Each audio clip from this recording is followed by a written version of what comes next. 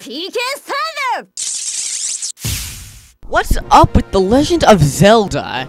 But the Nintendo Switch out and Breath of the Wild in stores, and never mentioning Zelda once throughout my channel, I feel I really need to make a Zelda video.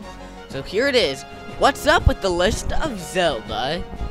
The Legend of Zelda is one of the most popular game series, probably right before Mario Brothers.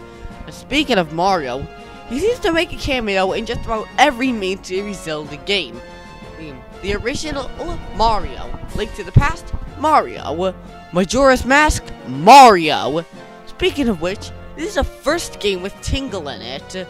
I won't talk about him too much, but here's a few Tingle facts. In, Wing, in Wind Waker, he is actually quite greedy and evil. He even holds two men, Dave Jr. and Ankle, his brother, hostage to keep the island spinning. The first Zelda, released in 1886 for the NES, or Famicom if you live in Japan. If you like Twilight Princess but have played over and over and over, you might want to play Link's Crossbow Training for the Wii. Why? Because this game is a complete rip-off of Twilight Princess. Whether it's the music, enemies, design, bosses, or what.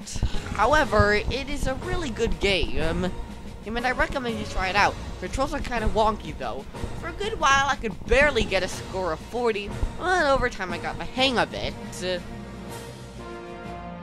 Phantom Hourglass, you have to come back to the same dungeon over and over again! Every time you come back to the start of the beginning, you need to clear the same puzzle over and over again. You do eventually you make it to a halfway point that sees your progress, but still, come on Nintendo. Is it really necessary? If you want something different, then try Hyrule Warriors. It's all about turning Zelda characters into absolute warriors. Next, let's